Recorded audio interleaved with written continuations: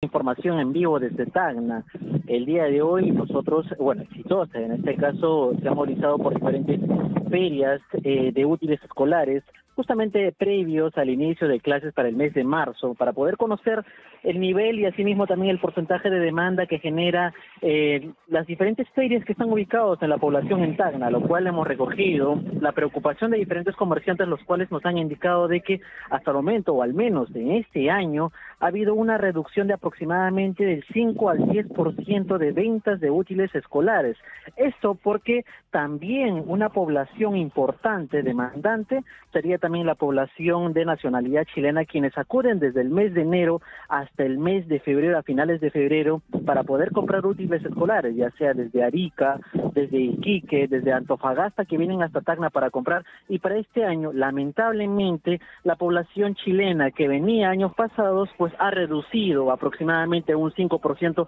según los comerciantes ya que esto se debería justamente al tipo de cambio, Karina. Nosotros hemos conversado con algunos comerciantes que nos, explican y asimismo también que nos, nos muestran eh, cuál es la situación y el panorama que se vive en estas ferias de útiles escolares. Escuchemos. Mira, la verdad, los chilenos,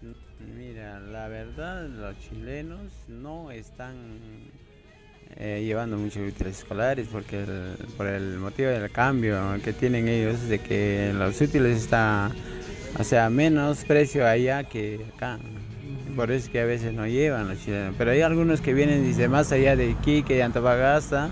ellos sí se llevan porque en esa comuna también es un poquito la cosa cara entonces acá está más barato que ellos Sí, eso sí llevan, sí.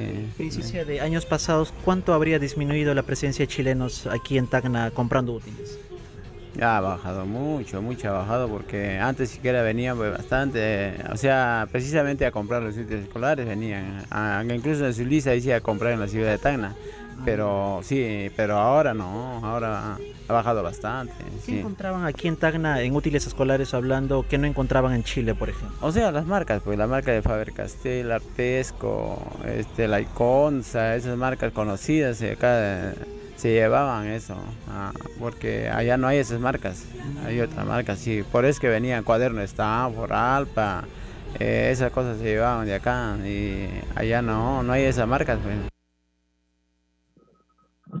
Karina, el principal atractivo para los ciudadanos del vecino país de Chile, aquí en Tacna, era justamente, como bien mencionan los comerciantes, las marcas de los productos que son mejores aparentemente a lo que se ofertan en el país vecino de Chile. Además de eso, de que muchos ciudadanos chilenos aprovechaban para venir a Tacna no solamente a comprar útiles escolares, sino también uniformes escolares, y esto justamente se da desde el mes de enero hasta finales del mes de febrero, que hasta el momento, al menos en el tema de útiles escolares, que un chileno deja aproximadamente 200 soles solamente para un estudiante, según han mencionado algunos comerciantes, y lamentablemente para estas temporadas pues ha reducido la demanda chilena netamente en la ciudad de Tacna. Información desde Tacna, informó Silvio Alvis para Exitosa 13 años integrando al Perú.